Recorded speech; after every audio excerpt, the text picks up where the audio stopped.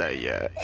You sure And it fucking- like No, so no, so this bloke's in a, in a stall and some other blokes in the stall next to him. There's a glory hole, and the other bloke's put his cock through the hole.